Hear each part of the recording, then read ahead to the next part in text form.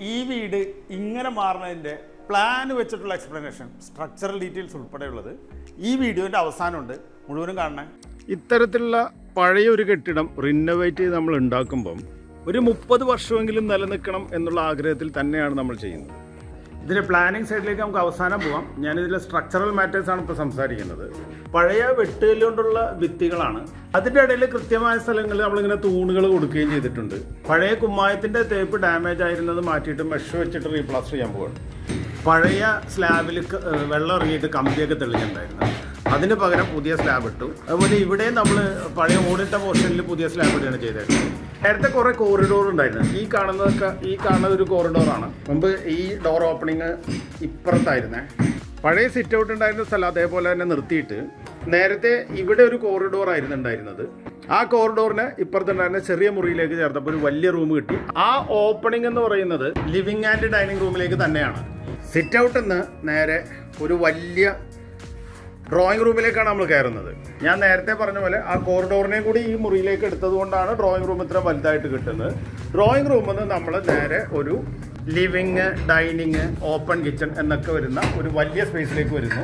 നേരത്തെ ഇരുട്ട് മൂടി കിടന്നിരുന്ന രണ്ട് മുറികളായിരുന്നു. ആ രണ്ട് മുറിയെ തമ്മിൽ ജോയിൻ ചെയ്തിട്ടാണ് നമ്മളവിടെ നല്ല വെളിച്ചമുള്ള ഒരു സ്പേസ് ആയിട്ട് മാറ്റിയിരിക്കുന്നത് അവിടെ ഒരു വിൻഡോ കൂടി വരാനായിട്ടാണ് നേരത്തെ ഉണ്ടായിരുന്ന ഒരു കോറിഡോറാണ് ഈ കാണുന്നത്. ആ കോറിഡോറിനകത്ത് നമ്മൾ ഡൈനിങ്ങിന്റെ വാഷേരി കൊണ്ടുവരുന്നു.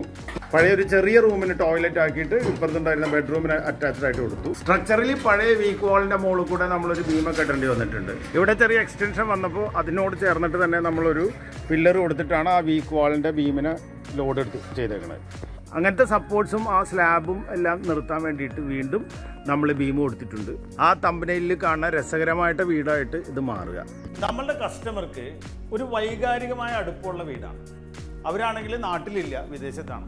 അപ്പോൾ സ്ഥിരമായിട്ട് ഇവിടെ താമസിക്കണമില്ല അങ്ങനെയുള്ള സാഹചര്യത്തിൽ അവരുടെ ഇഷ്ടത്തിനും അവരുടെ താല്പര്യത്തിനും ഇന്റീരിയേഴ്സും എക്സ്റ്റീരിയറും മാറ്റം വരുത്തിയിട്ടുള്ള ഒരു സ്റ്റോറിയാണ് നമ്മൾ പറഞ്ഞു വരുന്നത്. ഈ വീടാണ് ഇവിടെ ഈ റൂഫിന്റെ കമ്പികളൊക്കെ അപ്പൊ അത് മാറ്റേ വേണം. അതോടൊപ്പം തന്നെ ഇവിടെ കുറച്ച് ഓടിന്റെ പോർഷൻ ബാക്കിൽ.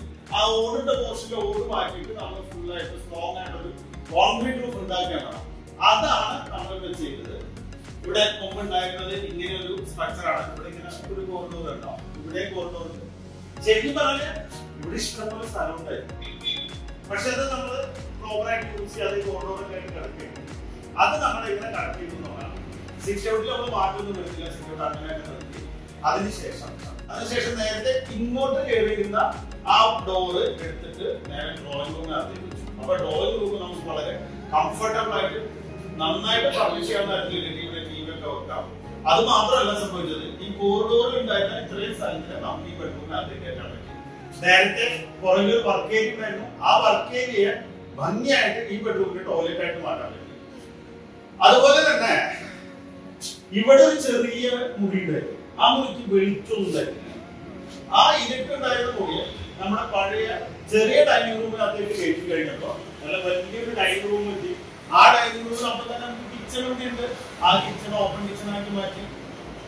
ഡ്രോയിങ് റൂമിൽ ഇരുന്ന് കഴിഞ്ഞാൽ ഈ ഡൈനിങ് ലിവിങ് കിച്ചൺ ഇത്തരം സ്ഥലങ്ങളിലേക്ക് ആളുകൾക്ക് പ്രൈവസി ഉണ്ട് എന്നുണ്ടെങ്കിൽ ഇത്തരം ഒരു ഡിസൈൻ കോൺസെപ്റ്റ് വളരെ നല്ലതാണ്. എന്താ കേസ് പറഞ്ഞാൽ ഞാൻ നേരത്തെ പറഞ്ഞാലും നമ്മുടെ കസ്റ്റമർ സ്ഥിരമായിട്ടുള്ള താമസിക്കാറില്ല പക്ഷെ വരുന്ന സമയത്ത് ഇഷ്ടംപോലെ ആൾക്കാരുണ്ടാവും. ആ ഉള്ള ആൾക്കാർക്ക് ഒരുമിച്ച് ഇരിക്കാനായിട്ടും ഒരുമിച്ച് സമയം സ്പെൻഡ് ചെയ്യാനായിട്ടും വളരെയധികം സൗകര്യമുള്ള സ്ഥലം അതുപോലെ തന്നെ ഇവിടെ നമ്മൾ ബ്രേക്ക്ഫാസ്റ്റ് കൗണ്ടർ കൊടുക്കുമ്പോൾ ആ ബ്രേക്ക്ഫാസ്റ്റ് കൗണ്ടർ രണ്ട് ലെവലിലാണ് ഇവിടെ കമ്പ്യൂട്ടർ വെച്ച് കഴിഞ്ഞാൽ താഴത്തെ തട്ടിലിരിക്കുന്ന വെള്ളം പറഞ്ഞ് കമ്പ്യൂട്ടറിൽ വീഴുന്നുള്ള പേടിയൊന്നും വേണ്ട. കിച്ചന്റെ അകത്ത് തന്നെ ഒരു വർക്ക് സ്റ്റേഷൻ കിട്ടുന്നു എന്നുള്ള ഒരു കൺവീനിയൻസ് ഇത്തരം കാര്യങ്ങളെല്ലാം കൂടി ചേർത്തിട്ട് ഇന്റീരിയർ വളരെ കാര്യമായിട്ട് നമ്മൾ പ്ലാൻ ചെയ്തിട്ടുണ്ട്. അതിന്റെ ഡീറ്റെയിൽസിലേക്ക് നമ്മൾ പിന്നീട് വരും. നമുക്കിപ്പോ ഇവിടെ ഒരു കോറിഡോർ കാണാം ഈ സ്പേസിൽ ഒരു കോറിഡോർ ഉണ്ടായിരുന്നു ഇവിടെ ഒരു ചെറിയ ബെഡ്റൂം ആയിരുന്നു ഇത് കന്നിമൂല ആയിട്ട് വരുന്ന സ്ഥലമാണ്. അപ്പൊ ആ സ്ഥലത്തുള്ള ഈ ചെറിയ ബെഡ്റൂമിനെ നമ്മൾ വലിയ ബെഡ്റൂം ആക്കി. ഇവിടെ ഉണ്ടായിരുന്ന ചെറിയ മുറി തന്നെയാണ് ആ മുറി നമ്മൾ ടോയ്ലറ്റ് ആക്കിയിട്ട് ഈ ബെഡ്റൂമിന് അറ്റാച്ച്മെന്റ് ആയിട്ട് കൊടുത്തു. അതുപോലെ ഈ കോറിഡോറിൽ ഉണ്ടായിരുന്ന സ്പേസിനെ നമ്മുടെ ഡൈനിങ് ആൻഡ് ലിവിംഗ് ഏരിയയിലേക്ക് കൊണ്ടുവരികയും അതോടൊപ്പം തന്നെ ഇവിടെ നമ്മൾ ഡൈനിങ്ങിന്റെ വാഷ് ബേസിൻ കൊടുത്തു അപ്പൊ ഡൈനിങ് ഏരിയക്ക് ശരീരം മാറി കിട്ടുകയും നല്ല ഭംഗിയിൽ ചെയ്യാൻ പറ്റും. ഇവിടെ ഒരു ഡോർ അഡീഷണൽ കൊടുത്തു കഴിഞ്ഞപ്പോ ഒരു കോമൺ ടോയ്ലറ്റ് ആയിട്ട് അത് ഫങ്ഷൻ ചെയ്യുകയും ചെയ്തു. നേരത്തെ നമ്മൾ ഇതിലെയാണ് പുറത്തേക്ക് ഇറങ്ങിയത് അതിന് പകരം കിച്ചണിന് ഇങ്ങനെ ഇറങ്ങിയിട്ട് ഇവിടെ നല്ലൊരു വർക്ക് ഏരിയ ഉണ്ട് വർക്ക് ഏരിയ വാഷിംഗ് മെഷീൻ എല്ലാം സൗകര്യങ്ങളുണ്ട്. സ്മോക്ക്ലെസ് സ്റ്റവ് വെക്കാനുള്ള സൗകര്യങ്ങളുണ്ട്. ഇത്തരം കാര്യങ്ങളൊക്കെ കൂടിയാണ് പ്ലാനിങ്ങിൽ നമ്മൾ കൊണ്ടുവന്ന മാറ്റം. ഇനി നമുക്ക് എങ്ങനെയാണ് ഈ എലിവേഷനിലേക്ക് ഇത് കൊണ്ടുവന്നത് എന്നുള്ളതിനെ കുറിച്ച് കൂടി നോക്കാം. അതിനു മുമ്പായിട്ട് നമുക്ക് സ്ട്രക്ചറിലേക്ക് ഒന്ന് കടന്നു പോകാം പഴയ ഓടിന്റെ സ്ട്രക്ചറിന്റെ മുകളിൽ നമ്മൾ കോൺക്രീറ്റ് സ്ലാബ് കൊണ്ടുവരിക.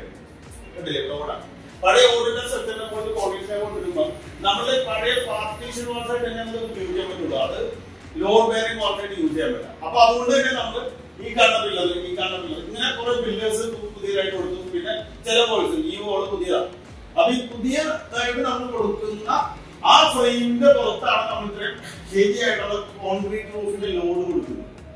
അപ്പൊ അങ്ങനെ ഒരു ഫ്രെയിം നമ്മൾ ഉണ്ടാക്കിയിട്ടുണ്ട്. ആ ഫ്രെയിം ഉണ്ടാക്കുമ്പോൾ നമ്മൾ ശ്രദ്ധിച്ച കാര്യങ്ങൾ വീടിന്റെ അകത്തുള്ള സ്പേസസ് നമുക്ക് നഷ്ടപ്പെടാൻ പാടില്ല. അതുകൊണ്ടാണ് ഈ പില്ലേഴ്സ് ഒക്കെ പുറത്താണ് കൊടുത്തിരിക്കുന്നത്. ഇവിടെ ഈ പില്ലർ അകത്തും വോളിന്റെ ഉള്ളിൽ പോയിട്ടുണ്ട്. ഈ ഒരു പില്ലർ മാത്രമാണ് നമുക്ക് പ്രാക്ടിക്കലി ബിൽഡിംഗ് അകത്തേക്ക് വന്നത് പക്ഷെ എന്നാലും ഈ കോർണറിൽ കൊടുത്തുകൊണ്ട് നമുക്കത് പ്ലാനിങ് വൈസ് നോക്കുമ്പോൾ നല്ല രീതിയിലുള്ള ഒരു സ്ട്രക്ചറായിട്ട് വന്നിട്ടുണ്ട്. അത്തരം ഡീറ്റെയിൽസ് നമ്മൾ കുറച്ച് മുമ്പ് കാണിച്ച വീഡിയോക്കകത്തുണ്ട് കൂടുതൽ ഡീറ്റെയിൽസ് ആയിട്ട് നമ്മൾ ഇന്റീരിയേഴ്സ് ഉൾപ്പെടെ പ്രോജക്റ്റ് നമ്മൾ വരുന്നുണ്ടാവും.